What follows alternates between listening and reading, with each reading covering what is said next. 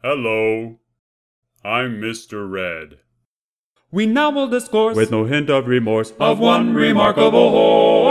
Horse is a horse, of course, of course, and no one can talk to a horse, of course. That is, of course, unless the horse is the famous Mr. Ed. Go right to the source and ask the horse. He'll give you an answer that you'll endorse. He's always on a steady course. Talk to Mr. Ed. People yakety yak a streak and waste your time of day. But Mr. Ed will never speak unless he has something to something to say. To say. Something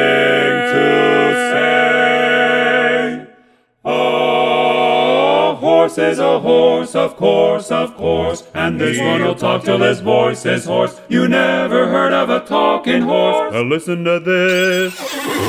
I am Mr. A fabulous horse. A magical horse. A most remarkable horse.